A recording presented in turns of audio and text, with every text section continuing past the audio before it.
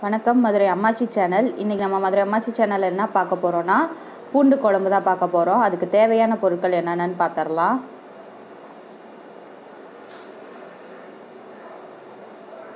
ஒரு கப்பில் வந்து நான் வெள்ளைப்பூடு நல்லா இது எடுத்து உரித்து வச்சுருக்கேன். ஒரு கப் தக்காளி அதே மாதிரி சின்ன வெங்காயம். எவ்வளோ வெள்ளைப்பூடு எடுக்கிறோமோ அதே அளவு சின்ன வெங்காயம். கொஞ்சம் ச- தேவையான அளவு எண்ணெய். தாளிக்கிறதுக்கு கடுகு வெந்தயம் பெருங்காயம் கொஞ்சோண்டு சீரகம் அதுக்கப்புறம் கொஞ்சோண்டு மிளகு. இதெல்லாம் வந்து தாளிக்கிறதுக்கு.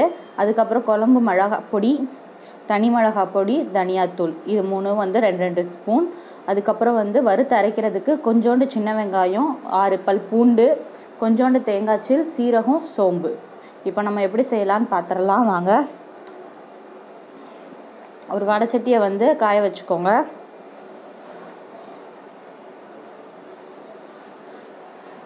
வானல் காஞ்சோடனே வந்து கொஞ்சோண்டு தேவையான அளவு எண்ணெய் ஊற்றிக்கோங்க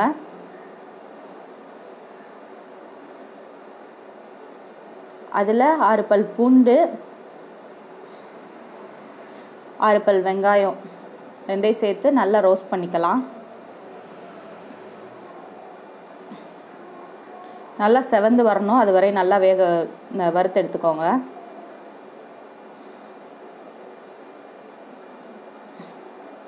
நல்லா செவந்து வந்துருச்சு.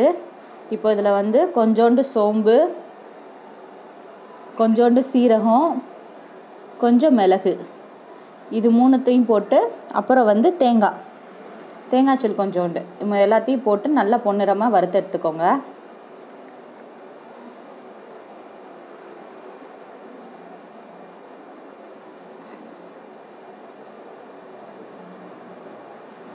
நல்லா வறுபட்டு வந்துருச்சு.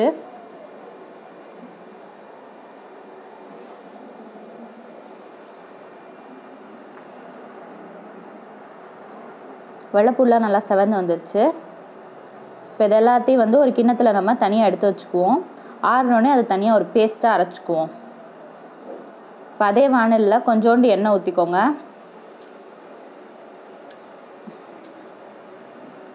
நான் நல்லெண்ணெய் தான் ஊற்றுறேன் நீங்களும் உங்களுக்கு என்ன எண்ணெய் பிடிக்குதோ நீங்கள் ஊற்றிக்கோங்க கொஞ்சோண்டு கடுகு வெந்தயம் கொஞ்சோண்டு மிளகு சீரகம் கொஞ்சம். இது எல்லாத்தையும் கொஞ்சம் நல்லா பொன்னிறமாக ரோஸ்ட் பண்ணிக்கோங்க.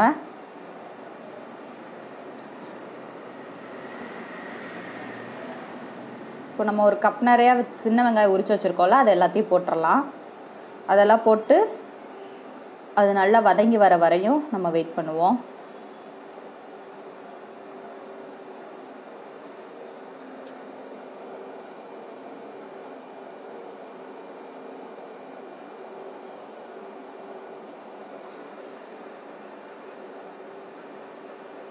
கொஞ்சம் நல்லா வதங்கிருச்சு. இன்னும் கொஞ்சம் நல்லா வதங்கட்டும். அது வரையும் கொஞ்சம் இது பண்ணி விடுவோம்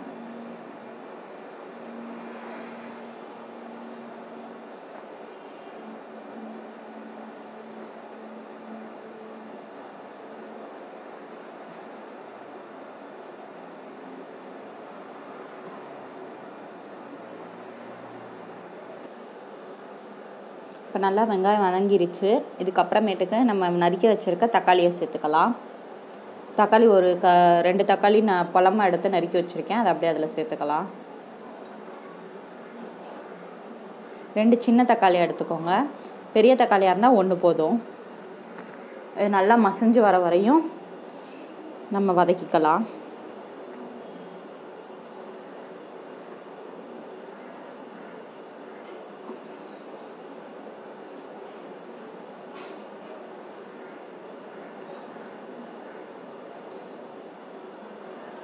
நல்லா தக்காளி மசிஞ்சிருச்சு.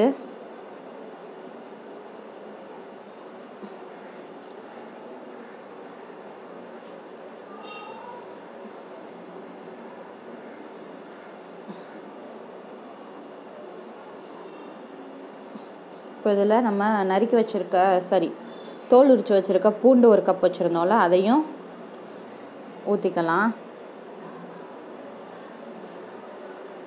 கொஞ்சோண்டு எண்ணெய் தேவைப்பட்டுச்சுன்னா கொஞ்சம் எண்ணெய் ஊற்றிக்கோங்க பூண்டு குழம்புல நல்லெண்ணெய் வந்து நிறையா இருந்துச்சுன்னா அது நல்லது. நல்லாயிருக்கும்.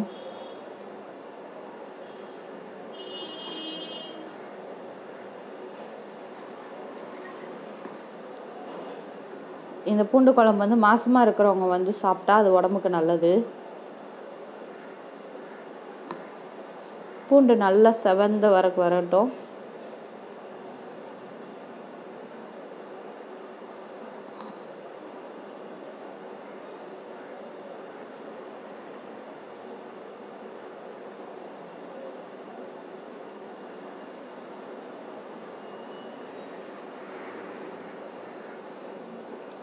இப்போ பூண்டு வெங்காயம் தக்காளி எல்லாமே நல்லா மசிஞ்சு வந்துருந்துச்சு. இப்போ இதில் வந்து குளம் மிளகா பொடி வந்து நான் ரெண்டு ஸ்பூனை போடுறேன். இது வீட்டில் அரைச்ச குளம் மிளகா பொடி. இது வந்து தனி தனி மிளகா பொடி. அது ஒரு ஸ்பூன் போட்டுக்கிறேன். இது வந்து தனியா சீரகத்தூள் ரெண்டும் சேர்ந்தது. மல்லித்தூள் சீரகத்தூள் ரெண்டும் சேர்ந்தது. அது ஒரு ஸ்பூன் போட்டுக்கிறேன்.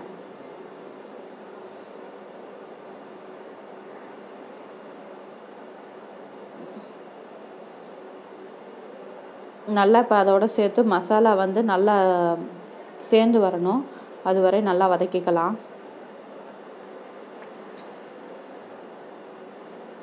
இப்போ இதில் வந்து புளி தண்ணி சேர்த்துக்கலாம்.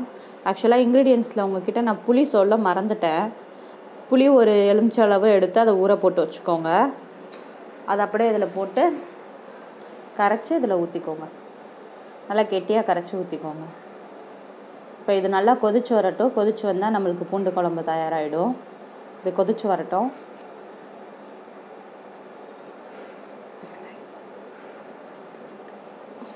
கொஞ்சோண்டு பெருங்காயத்தூள் ஆட் பண்ணிக்கோங்க. தேவையான அளவு உப்பு.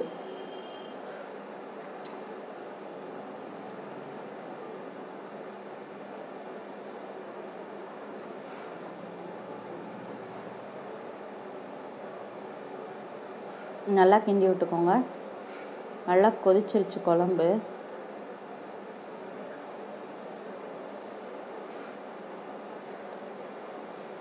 இந்த ஸ்டேஜில் நம்ம ஃபஸ்ட்டே அரைச்சி வச்சுருந்தோம்ல.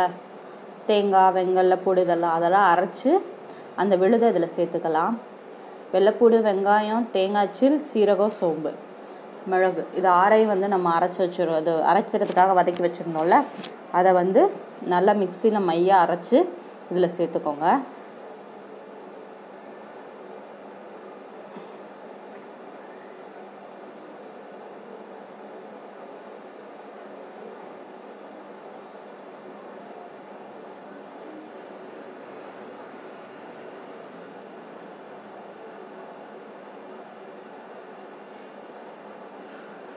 நல்லா கொதிச்சு எண்ணெய் பிரிஞ்சு வரட்டும். கொஞ்சம் வெயிட் பண்ணலாம்.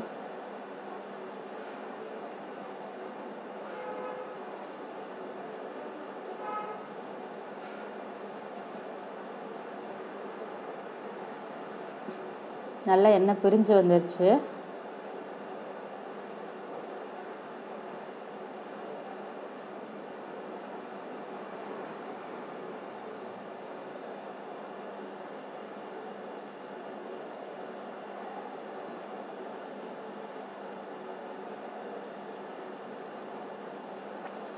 நல்லா க கொதிச்சு மேலே எண்ணெய் திரண்டு வந்துருச்சு. இந்த ஸ்டேஜில் உப்பு இருக்கான்னு பார்த்து உப்பு சேர்த்துக்கோங்க.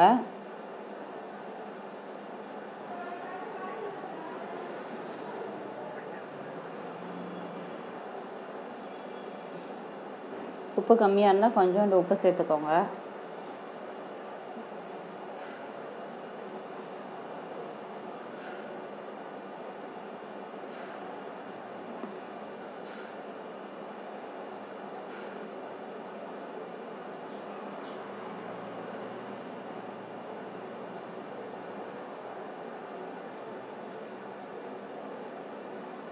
கொஞ்சோண்டு இதுக்கு டேஸ்ட்டுக்காக கொஞ்சோண்டு நான் மண்டவெல்லம் சேர்க்குறேன். உங்கள் விருப்பம் இருந்தால் சேர்த்துக்கோங்க விருப்பம் இல்லைன்னா அதை ஸ்கிப் பண்ணிக்கோங்க.